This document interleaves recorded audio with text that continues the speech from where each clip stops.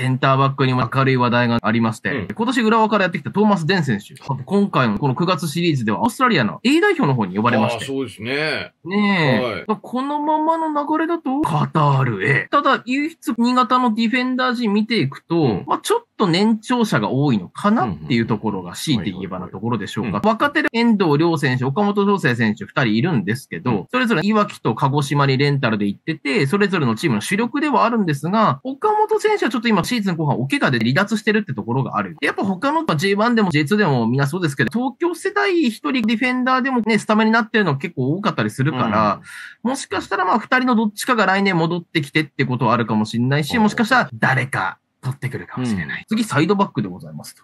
サイドバックはね、キャプテン堀米選手、そして J1 からかなりの数熱視線浴びてる藤原選手。うん。この二人をの画像を超えてくるのは、現 J1 のサイドバックの選手たちでもなかなか難しいんじゃないかなと。はいはいはい。レベルなので、うんまあ来年も彼らはこれやってくれると思いますし、あとは控え層充実のところも、長谷川選手だったり渡辺選手がもう台頭しているので、まあここはもう十分なんじゃないかなと思います。うん